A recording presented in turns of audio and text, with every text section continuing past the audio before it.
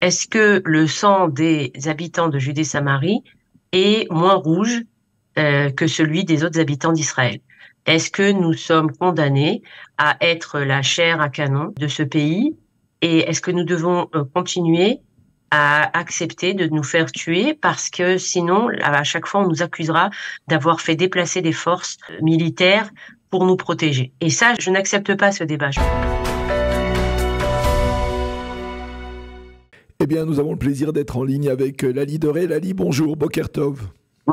Bokertov, Daniel. Merci d'être avec nous et je m'excuse encore une fois auprès de nos auditeurs pour cette voix un peu cassée, on va dire mais on va réaliser cette interview ensemble sans aucun problème. Je voudrais, Lali, d'abord euh, avoir votre appréciation sur un des débats qui animent la société israélienne. En ce moment, il y en a plusieurs. Ce sont des débats éthiques, des débats moraux.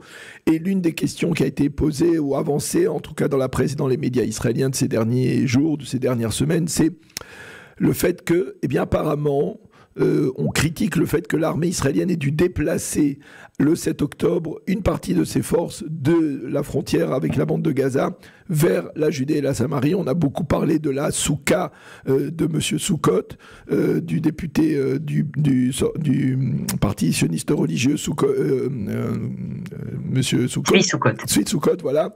Le jour de, de, de, de Oshana Rabbah, qui a mobilisé apparemment des forces israéliennes.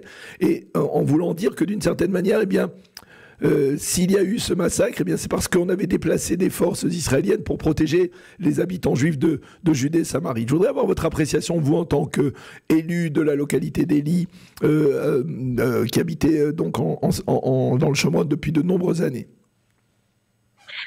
Alors, la première chose, c'est que j'ai un scoop, un scoop incroyable que je livre à Kalita en, en, première première, euh, pour la première fois, les habitants de Judée-Samarie sont aussi des êtres humains.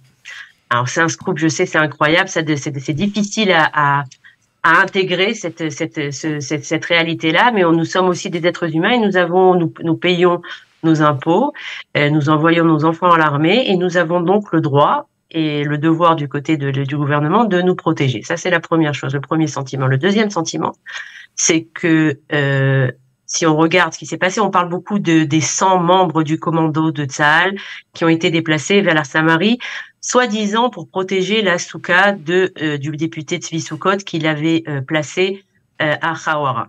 Alors d'abord au niveau des faits, ce commando, ces commandos ont été déplacés plusieurs jours avant euh, avant la fête de avant avant Oshana Rabbah, avant la fête de Sukkot, pour la raison euh, bien simple, c'est qu'il y avait énormément d'informations au niveau de, de, des renseignements de Tzal qui qui indiquaient qu'il y allait avoir des attentats justement à Khawara. Il faut rappeler, Khawara, c'est donc un, une ville euh, palestinienne, enfin une ville sous le contrôle palestinien, par laquelle les habitants de la Samarie passent pour arriver à leur euh, localité et où il y a eu énormément d'attentats meurtriers, où on a perdu euh, beaucoup d'Israéliens. Et donc, il y avait, encore une fois, il y avait des renseignements bien précis sur le fait qu'il y allait avoir des attentats à, ce, à, ce, à cet endroit-là et qu'il fallait donc protéger les habitants euh, des localités qui s'y situent.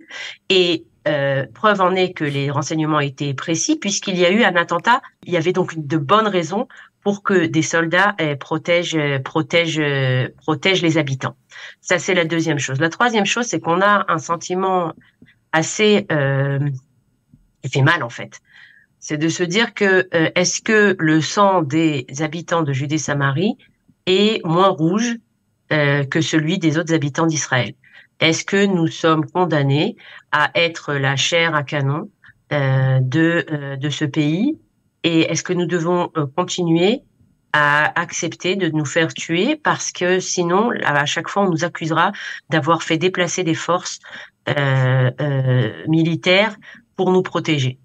Euh, et ça, je, n'accepte pas ce débat. Je peux pas accepter ce débat parce que c'est un débat faussé, c'est un débat politique qui n'a rien à voir avec la sécurité.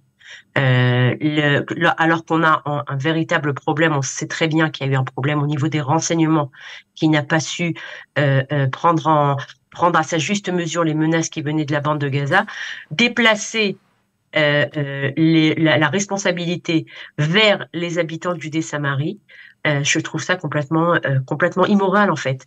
Et, et, et, ça, c'est, ça fait partie d'une campagne malheureusement, une campagne qui, qui, qui vise à, à noircir les habitants de Judée-Samarie, alors que comme on le sait très bien, malheureusement, malheureusement, 30% des soldats tombés euh, au front pendant cette guerre euh, viennent de Judée-Samarie. Justement, ils ont le premier jour, le jour de Simchat Torah, moi-même, mes enfants, euh, ils sont revenus de la synagogue pour prendre leur téléphone pendant Simchat Torah et ils attendaient d'être appelés.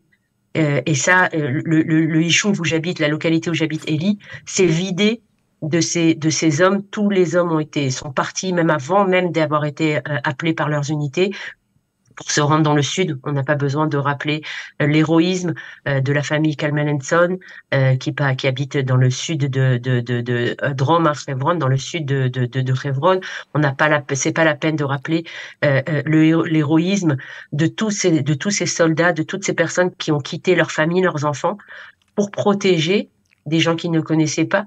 Et, c'est, et, donc moi, je, je j'ai beaucoup de mal avec, euh, on en parlera peut-être dans la seconde partie de l'émission, j'ai beaucoup de mal avec cette, euh, cette propension à diviser, à diviser le pays. Je trouve ça mmh. vraiment, mmh. Euh, on n'a pas compris la leçon. C'est ceux, qui font cette campagne, ceux qui, ceux qui dirigent cette campagne n'ont pas compris la leçon du 7 octobre. Alors, je voudrais peut-être poser une question qui est, qui est douloureuse, peut-être difficile. Est-ce que vous avez peut-être le sentiment, dans le même ordre d'idée, que cet élan de solidarité après le choc euh, de, du 7 octobre, de ce qui s'est passé dans les localités du pourtour de la bande de Gaza, il aurait été différent si, euh, à la place des, des, habitants de ces localités, eh bien, ça avait été des habitants de, de Judée de Samarie qui avaient été touchés dans la même ampleur oh, c'est, Question difficile. Hein. Ça fait mal. Ça fait mal d'entendre cette question. Euh, j'ai, du mal à j'ai du mal à y répondre parce que parce que moi depuis le 7 octobre j'ai décidé que je ne voulais pas justement euh, faire de, de, de, faire des divisions, faire des euh, dire qu'il y a un, Israël, le premier Israël et le deuxième Israël, même ça, je me refuse à le faire. Alors, on, va, va pas le faire, on va pas le faire, mais on va peut-être vous donner, vous, vous poser la question directement, c'est-à-dire parce que euh, on n'a pas un secret dans la communauté francophone, vous êtes très, vous étiez très active euh, sur les réseaux sociaux, et puis on vous a vu euh, disparaître des réseaux sociaux pendant plusieurs mois et réapparaître récemment encore avec une sorte de profession de foi que vous avez exprimée. Qu'est-ce que vous avez pensé justement, vous, de ce qui s'est passé au cours des deux derniers mois? Comment vous avez réagi, vous, euh, à la fois en tant que personnalité de la communauté francophone, sur le plan personnel et sur le plan collectif, face à ce qui s'est passé? Euh, Le 7 octobre, pour moi, ça a été une claque monumentale sur énormément de choses dans lesquelles je croyais, sur des guerres que j'ai menées, des combats que j'ai menés, sur des gens... Euh, euh, sur, sur, c'était surtout ça, sur des rêves que j'ai faits euh, au niveau, au niveau politique, au niveau collectif. Euh, et, et, et j'ai choisi de me taire parce que je n'avais pas, je, je n'avais rien à dire. C'est pas que je n'avais rien à dire, c'est que je pense que la colère, elle est mauvaise conseillère. Et là, j'étais, j'étais, j'étais remplie de colère en fait, remplie de colère aussi contre moi-même. C'est la première chose que je dois dire. Le mea culpa que j'ai fait, moi, je pense que l'année qui a précédé le 7 octobre, ça a été une année noire euh, pour notre peuple. Euh, et, j'ai participé. J'ai participé à cette campagne-là. J'ai été, j'ai mis euh, tous les gens qui se, qui ont manifesté contre la réforme judiciaire sur le même plan, alors que on le voit aujourd'hui, ils sont là, ils se battent côte à côte avec mes enfants. Euh, dans la bande de Gaza et, au nord de et dans le Golan. Euh, j'ai, pas, je les ai pas entendus, je les ai pas écoutés. Euh, j'étais, j'avais beaucoup de, de fiel dans mes propos. Euh, et ça, je, je, je, je aujourd'hui, je peux pas. J'y arrive pas. J'arrive pas à, à, à, à, à, à, parler. Je ne veux pas parler euh, sur ce sur ce ton-là. Euh, beaucoup de déception. Euh, on nous a promis un gouvernement à droite de la droite et en fait c'est sous ce gouvernement à droite de la droite que sont tombés tellement, tellement, tellement de morts que ce massacre a eu lieu. Et si on n'est pas capable aujourd'hui de faire son propre mea culpa à droite comme à gauche, si on n'est pas capable de faire ce mea culpa et de dire qu'est-ce que j'ai, euh, qu'est-ce que je dois réparer, qu'est-ce que je dois changer dans ma manière de d'aborder les faits, d'aborder les gens, mes frères, les Israéliens, si on n'est pas capable de faire ce mea culpa là, alors on n'a rien compris. Je veux dire, rappelons-nous le débat qui suivait euh, qui précédait, c'est la fête de Simchat Torah, c'est est-ce qu'il va y avoir euh, des euh, Shniot le soir de Simchat Torah à Tel Aviv, est-ce qu'elles seront euh, séparées? Ou pas séparées, les hommes et les femmes Il y avait des débats, il y avait des débats à la Cour suprême, il y avait des gens qui se qui se battaient les uns contre les autres sur ces sur ces fameuses Akafot le samedi soir de Simchat. Et où elles sont ces Akafot Elles n'ont pas eu lieu parce qu'on s'est fait parce qu'on s'est fait massacrer. On s'est fait massacrer, personne, il a pas personne n'a dansé samedi soir, euh, ni séparé, euh, ni pas séparé, euh, et, et, le fait qu'on n'ait pas, on n'est pas saisi ce message, moi pour moi c'est un message d'Akadosh Baruch je peux pas, je suis une personne croyante, il y a un message d'Akadosh Baruch qui a été, qui nous a été lancé, et se voiler la face, se mettre des œillères et dire non, non, non, je n'ai rien entendu, je continue à penser exactement ce que je pensais. Euh, je, la veille du 7 octobre, je pense exactement la même chose. Je n'ai absolument rien modifié dans ma manière de réfléchir. Euh, et ben, et ben, on passe à côté d'un message divin. On passe à côté de quelque chose qui nous est. On, est revenu sur notre terre. On a chaque euh, événement sur cette terre, c'est pas un événement historique, c'est un événement métahistorique de mon point de vue. Et, et, et, et moi, je, ne sais pas, ma, ma, ma réaction à moi, c'est de me ressourcer, de me de réfléchir et de oui de faire ce qu'on a de, réfléchir sur ce que je, dois le tikkun que je dois faire la réparation que je dois faire. Alors, et derrière, derrière ce tikkun, derrière cette réparation, est-ce que vous avez une sorte d'appréhension aussi que finalement, lorsque la guerre sera terminée, lorsque les canons se seront tus, eh on va retomber dans la normalité d'Israël, à savoir la division? C'est ma plus grande crainte. Vous savez, hier, j'ai interviewé un, docteur Avram Mizrahi, c'est un, un spécialiste des traumas, euh, qui a fait un monologue assez extraordinaire où il demandait pardon au sionisme religieux euh, pour ce qu'il euh, avait dit de lui, pour ce qu'il avait pensé de lui jusqu'au 7 octobre. Euh, et, et, et, il y a des voix. Dieu merci, il y a des voix qui ont, qui on a le, je, je, cite aussi le député Idan Roll du parti de Yeshati, du parti d'Yair Lapid, qui fait aussi un travail extraordinaire. Il y a des voix magnifiques qui ont eu le courage de se mettre face aux caméras et de dire je me suis trompé, je demande pardon. Euh, il y a ces voix-là, mais il y a aussi, on a vu le premier mois, c'était un mois d'unité extraordinaire.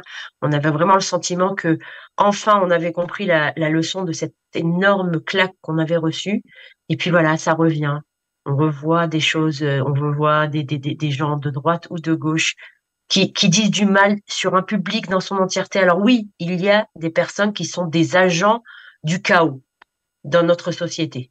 Il y a des gens qui ont choisi, par exemple, d'utiliser le nom et la mort des soldats pour critiquer le gouvernement en disant que le gouvernement ne faisait rien. On a euh, un, un, des, des, directeurs, de ceux qui ont pris en fait en otage les familles des otages, j'appelle ça comme ça, d'accord, qui ont euh, qui ont décidé de euh, de noircir le gouvernement en disant qu'il ne faisait rien pour libérer les otages, alors que tous les jours on voit des soldats mourir pour justement sauver ces otages. Alors on a ça, et notre devoir à nous, c'est de ne pas leur donner de voix, de ne pas leur les laisser prendre le, le, le, euh, diriger le narratif de cette nation. On a besoin d'unité, on a besoin de gens qui parlent euh, euh, ce, ce langage-là et ne pas laisser justement ces agents du chaos, qu'ils viennent de droite ou de gauche, je le répète, mener la barque, mener le bateau d'Israël. Ce serait une énorme, énorme erreur et on en paiera à nouveau le prix. Et ça, c'est ma plus grande crainte. Mais encore une fois, j'ai l'espoir que des voix, les voix qui se font entendre aujourd'hui de gens qui ont compris que rien ne pouvait être comme avant, qu'il fallait changer notre vision de nos euh, euh, vis-à-vis de nos frères, mais aussi vis-à-vis de nos ennemis. ces voix-là, j'espère qu'elles vont prendre le dessus. Alors, euh, vous parlez de l'unité, mais euh, on a vu des, slogans ou même des affiches euh, dans, les, dans les rues d'Israël sur le fait qu'aujourd'hui, il n'y a ni gauche ni droite, unité.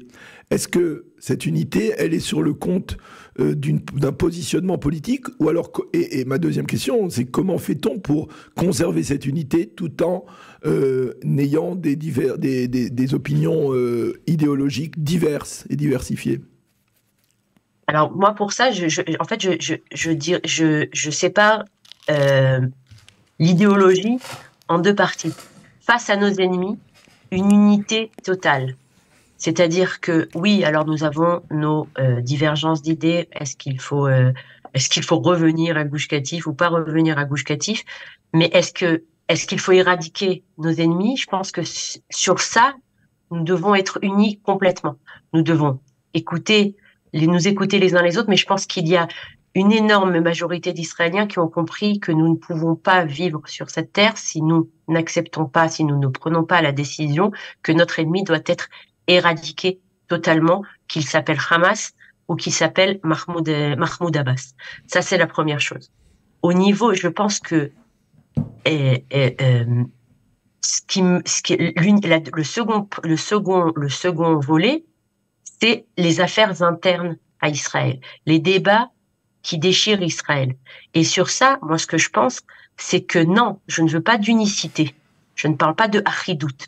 Je parle d'être capable d'écouter la personne qui est en face, d'entendre sa colère, d'entendre sa, son angoisse, d'entendre ses peurs et de, de, de, de, le rassurer. Et de l'autre côté, je veux faire entendre ma voix, je veux faire écouter ma voix euh, je veux expliquer à la personne qui est en face de moi ce qui m'inquiète, ce qui me, ce qui me fait peur. Je veux, je veux pouvoir dialoguer. C'est dans ça que je parle d'unité, pas pour effacer les différences idéologiques. Non, je n'ai pas bougé d'un poil. Je pense exactement la même chose au niveau de mon idéologie.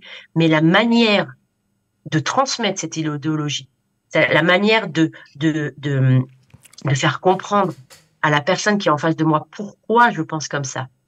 Ça, c'est quelque chose, qui va devoir profondément changer. Et j'espère vraiment avoir des interlocuteurs de l'autre côté. Ah, j'espère vraiment, et, et, je parle pas aujourd'hui de faire des, concessions. Je parle juste d'avoir la capacité d'écouter l'autre tout simplement, d'écouter la personne qui est en face de moi et de me faire entendre aussi de l'autre côté. Eh bien, Lali Doré, merci beaucoup euh, d'avoir accepté, on va dire, de nous faire partager vos sentiments, on va dire peut-être en exclusivité, si on peut dire comme ça, euh, sur Radio Calita, pour nous faire partager un peu ce que vous ressentez, votre ressenti depuis, depuis deux mois, et puis ce débat aussi autour euh, de la population de, de Judée et de Samarie. Merci beaucoup d'avoir été avec nous ce matin. Bonne merci fin Daniel, de les mains. Oui, merci beaucoup. Bonne fin de fête de Hanouka et Shabbat Shalom, à bientôt. Shabbat Shalom.